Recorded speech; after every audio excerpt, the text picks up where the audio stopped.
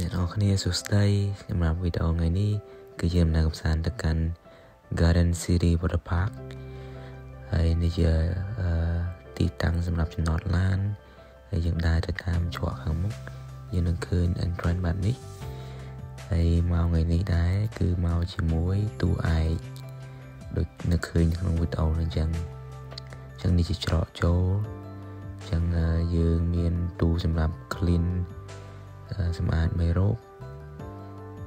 ប៉ុន្តែសម្រាប់ this little girl clean អត់ដល់ទេអញ្ចឹង she gonna skip it នេះជាច្រកចូលដំបូងយើងនឹងឃើញកន្លែងលក់ស្ពតហើយកលេចមកខាងស្ដាំយើងនឹងឃើញផ្លូវច្រកចូលទៅកាន់ខាងក្នុងហើយមានកន្លែងលក់ souvenir អាវ៉ាន់ជាច្រើនមុខហើយពេលដែលចូលដល់ក្នុងយើងនឹងឃើញតំបន់លេងទឹកជាច្រើននេះជាតំបន់ទី1ដែលយើងចូលមកយើងនឹងឃើញមានកន្លែងលេងខ្ពស់មួយដែលអាចថាទាំងអណ្ដាលទាំងគីតអាចលេងបានរួមគ្នាហើយកន្លែងនេះដែរគេឡើងទៅជាន់ខ្ពស់ៗដើម្បីស្លាយជុំមកក្រោមអញ្ចឹងវាសុបាយម្យ៉ាងដែរហើយខាងក្រោមយើងមានទឹកអឺតែ ទឹកនេះវាមិនសូវជាជ្រៅទេតែវារៀងរាក់អឺតែអ្នកនរគ្នាអាចលេងហើយម្យ៉ាងទៀតពេលអ្នកនរគ្នាដើរក្នុងទឹកអឺវាមិនសូវក្តៅដូចដើរខាងអឺផ្លូវខាងក្រៅណា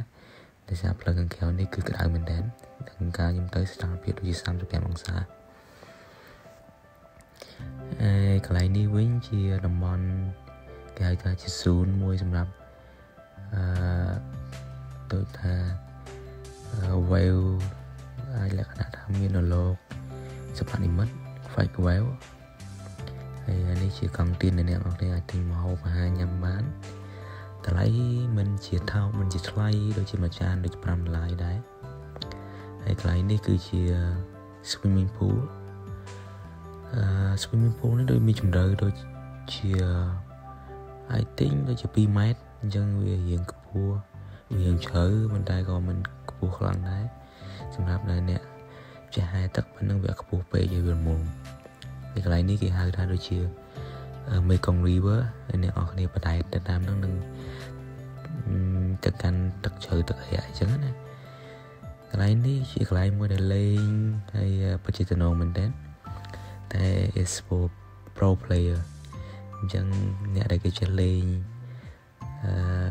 សម្រាប់ហ្គេមបែបនេះនឹង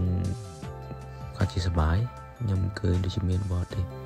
ពីម្នាក់ដែរគាត់សាកហ្គេមបែបនេះតែខ្ញុំភ្លេចថានឹងគេហៅថាម៉េចណាឈ្មោះហ្គេម activity នេះវាគួរឲ្យចាប់អារម្មណ៍តែមុនមុននឹងអ្នកនរគ្នាចូលលេងបានអ្នកនរគ្នាត្រូវតែ register គឺមិនដូចជា register ប៉ុន្តែជាការសញ្ញាកុងត្រាដោយសារកុងត្រាគេសំដៅទៅលើការគ្រោះថ្នាក់បើមានបញ្ហាគ្រោះថ្នាក់ផ្សេងផ្សេងគឺខាង Garden City គេអត់